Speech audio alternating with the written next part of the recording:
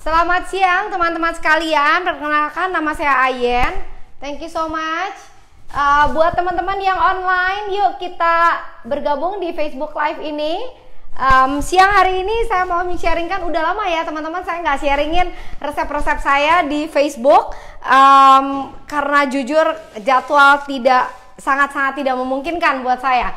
Oke, okay, ya siang hari ini saya mau share salah satu resep favorit saya actually. Ya, um, halo siapa yang sudah hadir di situ ada Melisa. Um, saya hari ini mau share mengenai ayam goreng, oke? Okay? Rasanya resep ayam goreng itu selalu disukai sama setiap keluarga ya.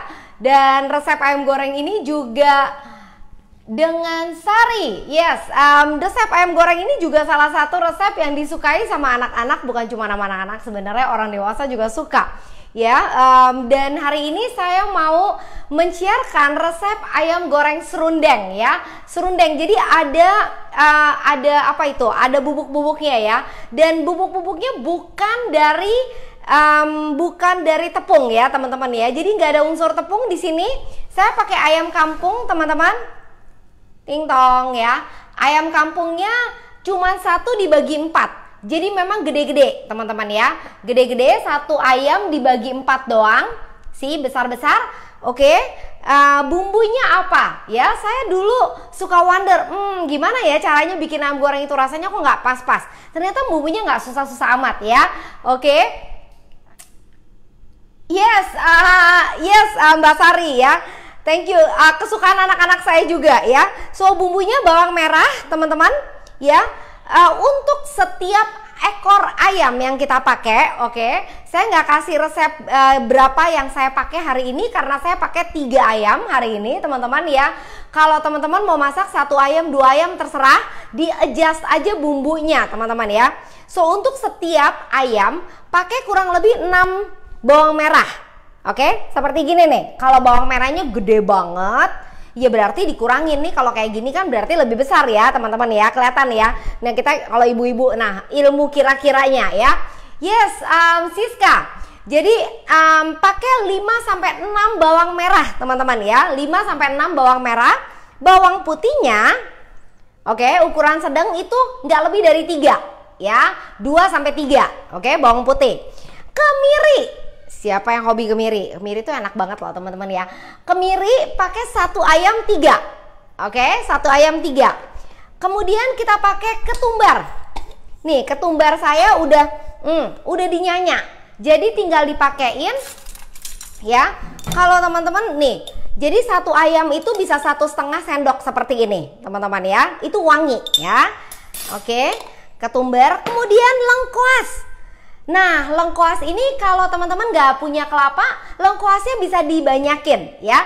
Jadi satu ayam itu bisa segini nih. Kadang lebihan juga nggak masalah. Lengkuasnya jadi ditumbuk barengan, ya. Nih, ya. Jadi ada uh, actually yang serundengnya itu adalah lengkuas teman-teman ya. So lengkuas lengkuasnya di um, dibersihin kemudian ditumbuk barengan ya. Kalau um, pakai kunyit Kunyitnya untuk satu ayam itu nggak lebih dari kurang lebih satu senti ya.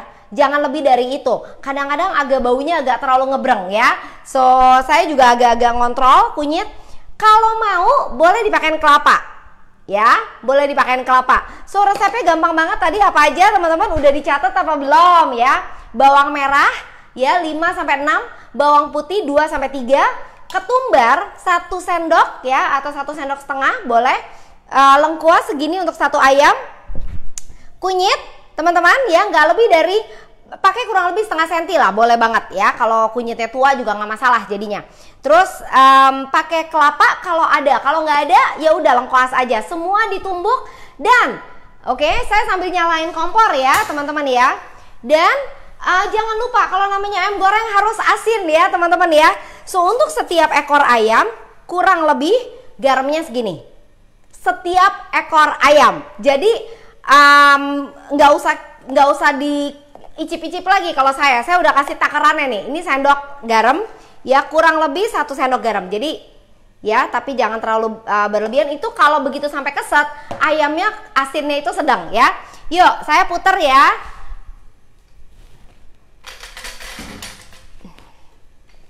Oke. Ya, gampang aja teman-teman. Um, resep ini sebenarnya sederhana banget. Ini resep simpenan emak-emak ya. Hai Cira, hai Henry. Jadi tinggal um, bumbunya diwangiin, teman-teman. Bumbunya diwangiin, jangan lupa pakaiin garam, kemudian pakaiin uh, ayam dan dinyerepin dulu. Abis itu bisa disimpan sampai anak-anak kita mau makan atau kita memang lagi siapin makan pagi anak-anak ya. Oke, karena saya pakai tiga ayam, saya pakai tiga sendok. Ya. Oke, saya mesti ngambil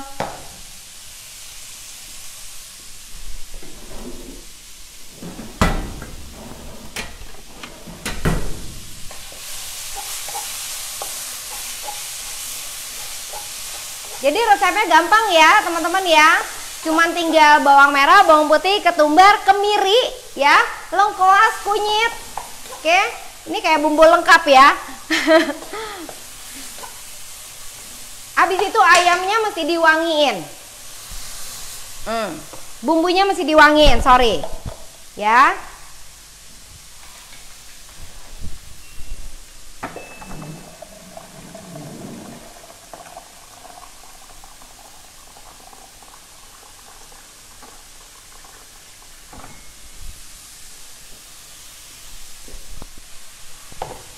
Oke. Nah, untuk teman-teman yang hobi serundengnya banyak, itu boleh dipakein lengkuasnya lebih banyak atau kayak saya kadang-kadang kalau ada di rumah ada kelapa, saya pakein kelapa ya. Itu udah wangi, tinggal ayamnya ditaruhin ya. Nah, the next uh, trick itu adalah jangan sampai kebanyakan air. Kalau enggak ayam kita kadang-kadang kelembekan jadinya. Ya. Saya biasanya saya susunin. Saya matiin dulu ya karena udah panas banget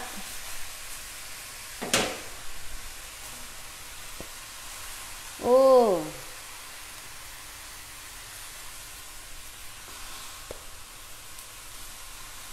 oke nah teman-teman pada waktu kita tambahin air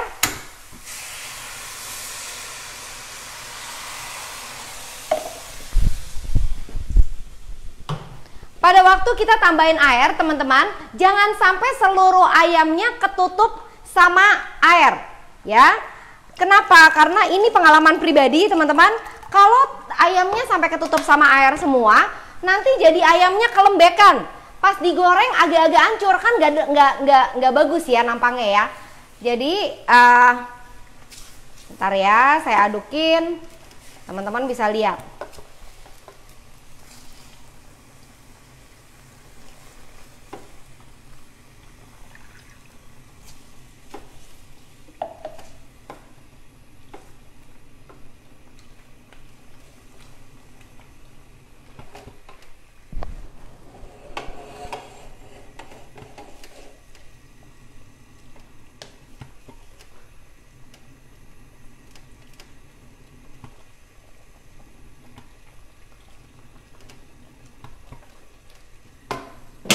Tambahin dikit ya.